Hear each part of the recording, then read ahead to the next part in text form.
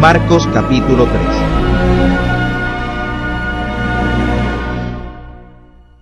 Y otra vez entró en la sinagoga y había allí un hombre que tenía una mano seca. Y le acechaban si en sábado le sanaría para acusarle. Entonces dijo al hombre que tenía la mano seca, Levántate en medio. Y les dice, ¿Es lícito hacer bien en sábados o hacer mal? ¿Salvar la persona o matarla? Mas ellos callaban. Y mirándolos alrededor con enojo, condoliéndose de la ceguedad de sus corazones, dice al hombre, extiende tu mano. Y la extendió, y su mano fue restituida sana como la otra. Entonces saliendo los fariseos tomaron consejo con los herodianos contra él para matarle.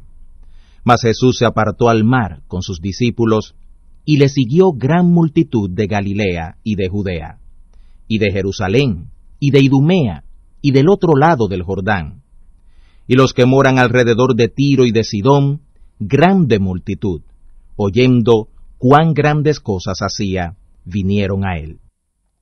Y dijo a sus discípulos que le tuvieran siempre apercibida la barquilla por causa de la multitud, para que no le oprimieran, porque había sanado a muchos, de tal manera que caían sobre él cuantos tenían plagas para tocarle.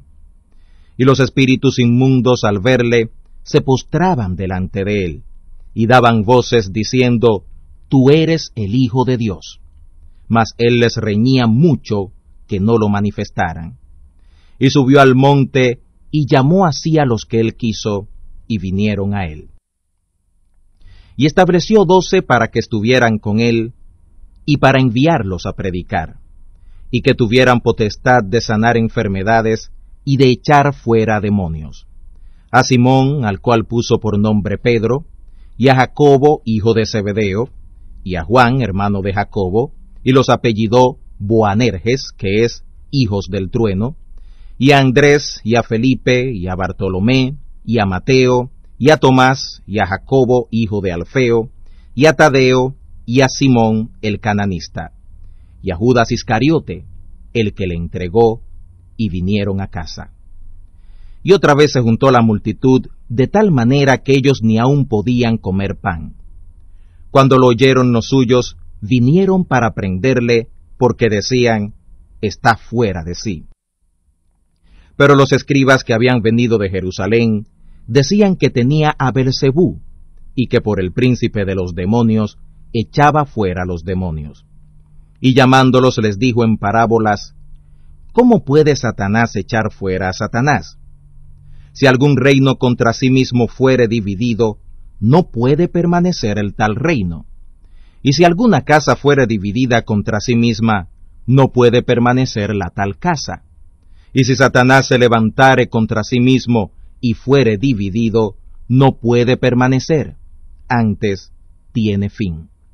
Nadie puede saquear las alhajas del hombre fuerte entrando en su casa, si antes no atare al hombre fuerte, y entonces saqueará su casa. De cierto os digo que todos los pecados serán perdonados a los hijos de los hombres, y las blasfemias cualesquiera con que blasfemaren. Mas cualquiera que blasfemare contra el Espíritu Santo, no tiene jamás perdón, mas está obligado a eterno juicio.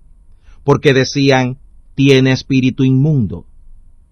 Vienen después sus hermanos y su madre, y estando fuera, enviaron a él llamándole.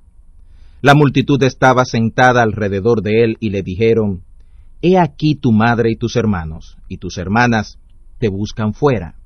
Y él les respondió diciendo, ¿Quién es mi madre y mis hermanos?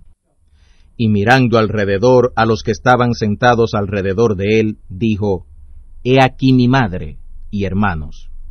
Porque cualquiera que hiciere la voluntad de Dios, este es mi hermano, y mi hermana, y mi madre.